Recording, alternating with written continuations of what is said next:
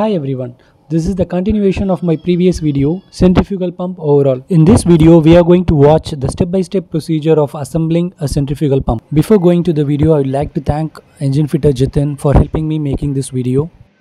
First, put the impeller washer on the shaft and fit the impeller key in the slot given on the shaft. Next is the impeller. A impeller cannot be fitted upside down. Check the direction of the vanes and the eye of the impeller considering the direction of rotation of the shaft and then insert the impeller onto the shaft. If the impeller rotates in clockwise direction, the vane should be curved anti-clockwise from leading edge to trailing edge of the vane. Push the impeller onto the shaft and you can slowly tap on the impeller with a suitable hammer till it sits on the shaft properly.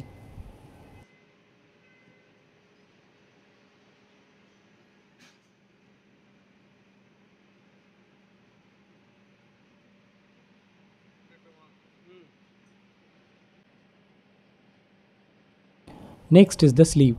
Insert the sleeve onto the shaft and slightly tap the sleeve along with the impeller with a Teflon hammer till it sits properly on the shaft.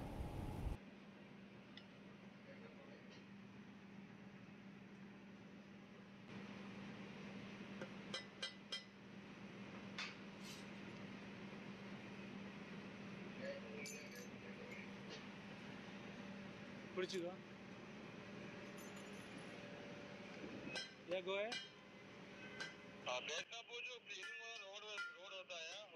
है and place a washer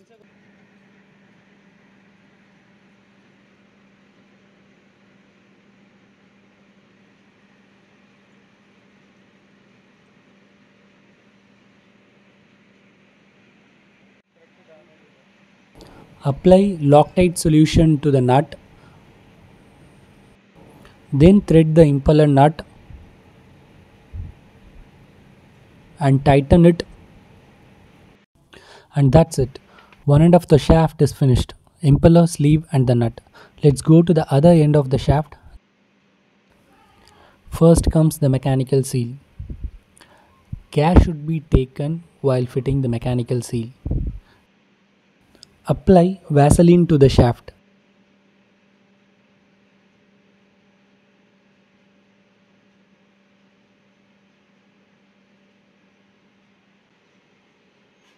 And now slowly insert the mechanical seal on the shaft till it sits on the step of the shaft.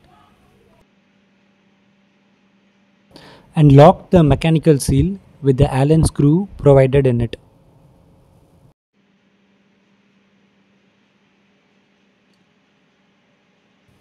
This is the mechanical seal cover.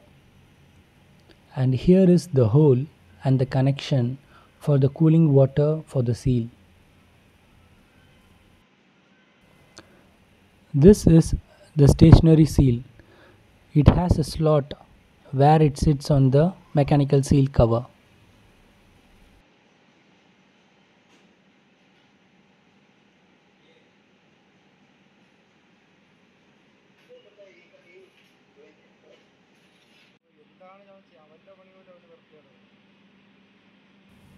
Apply silicone sealant on the cover and paste the gasket to it.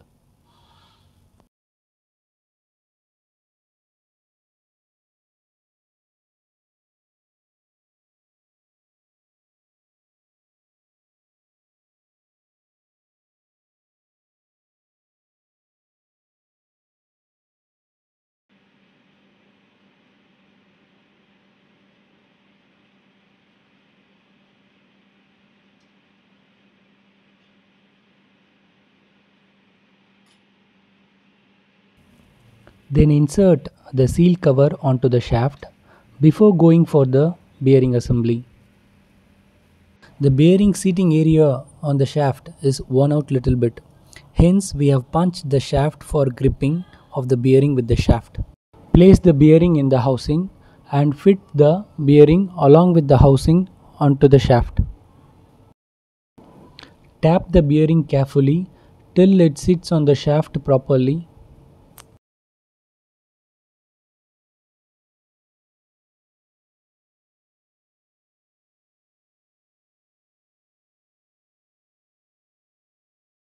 After tapping the bearing fully, then comes the lock washer.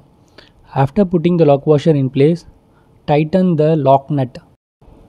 The lock nut firmly secures the bearing in place. Then fit the bearing cover over the bearing and tighten the bearing cover using 4 bolts. The bearing assembly is fitted onto the shaft now. And finally comes the coupling. Place the key on the slot for fixing coupling to the shaft.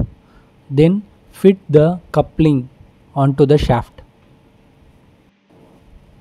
Slightly tap the coupling till it fully goes and sits on the shaft properly.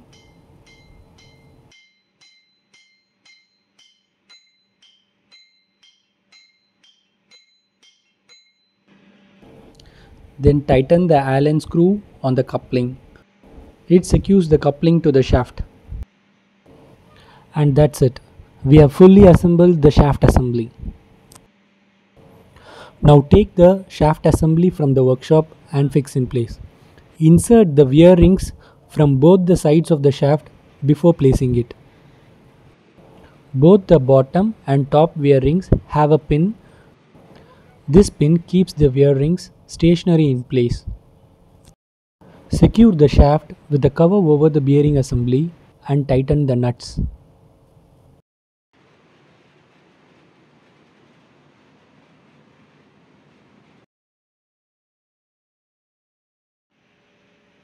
You can use the chart paper for making a paper gasket for the casing or else you can use only the silicone sealant.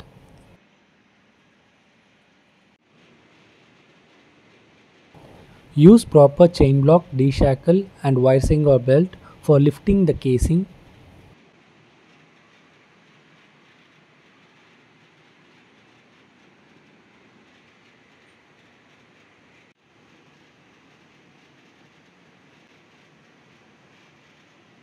Apply the sealant to the other half of the casing and paste the chart paper to it.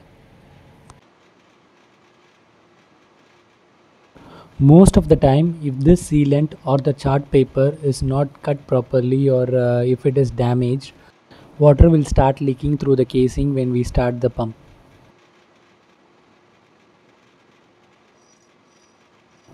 Use proper lifting gears and take care while you lift the casing and fit in place. While fitting the casing, if the casing goes and hits the seal, it can be easily damaged or broken.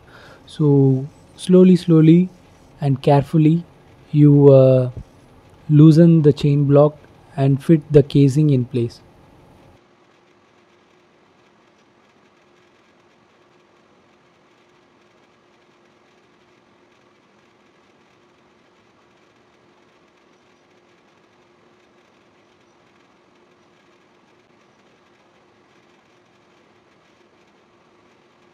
After keeping the casing in place, secure the casing using casing nuts.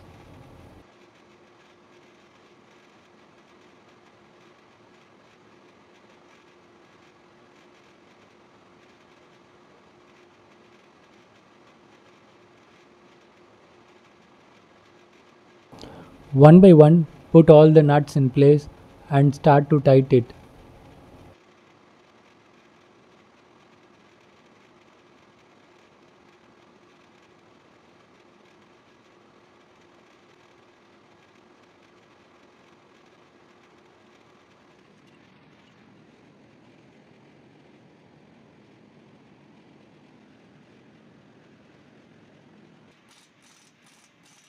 After tightening all the bolts and nuts using the spanner, you can remove the chain block.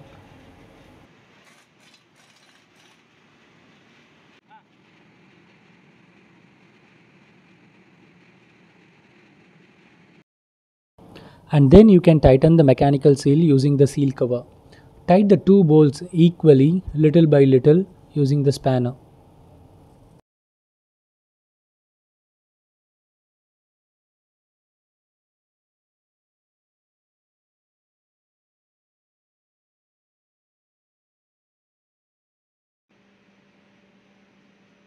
And finally comes the bottom bush Secure the bottom bush to the cover with the screws.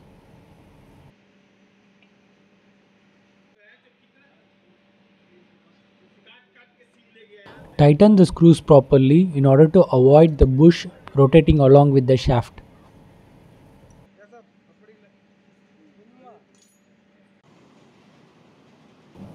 Now insert the bush into the casing. This bush goes over the shaft. The lower end of the shaft, that is below the impeller, rotates inside this bush. Hence, cooling arrangement is provided for this bush. Tighten the bush cover to the casing with two bolts provided for it. So tighten both the bolts equally so that the bush goes inside and gets sealed properly. Give cooling pipe connections for the mechanical seal and bush. And that's it. Try out the pump, check for vibration and sound, check for any leakages, check the bearing temperatures and motor amps, and the suction and discharge pressures of the pump. I hope I gave a clear explanation on this video. Thanks for watching. இந்த video உங்களுக்கு பிடிச்சிருந்ததுன்னா like பண்ணுங்கள் share பண்ணுங்கள் இந்த மாதிரி பல கடல் சார்ந்த கப்பல் சார்ந்த வீடியோக்களை தொடர்ந்து பார்க்க இந்த சேனலை சப்ஸ்கிரைப் பண்ணிடுங்க கூடவே அப்படியே பெல் ஐக்கானும் கிளிக் பண்ணிடுங்க தேங்க்யூ